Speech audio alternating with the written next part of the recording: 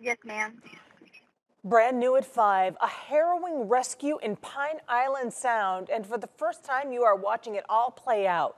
Lee County deputies couldn't even use their rescue boats to save this family. We are stuck on an oyster bar on a boat with a infant child under Okay. two. There was even a small child on board. Deputies had to bring help from above. NBC2's Christina Mendez is putting you in the middle of the intense rescue. Stuck and stranded at sea. Not even rescue boats could come out there and pull the people out. That's when a hero in the sky showed up and swooped one of those people away. 911, what is your emergency?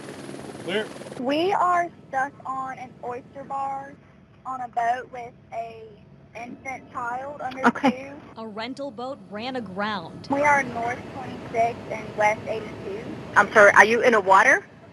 Yes, ma'am. This is where the family of five was stuck yesterday, Pine Island Sound near Chino Island. I just want to confirm him. Have you contacted Sea Tow or Towboat US to come get you off the island? Yes, ma'am, and they tried to get us for about an hour and a half, and they cannot. We've been stuck probably three hours. One of the women on board had a medical emergency, so a team of pilots took flight. The water was so shallow, seagrass was showing, but the woman in need of help wasn't able to wade through the water to land nearby. And in this case, we actually hoisted that victim up.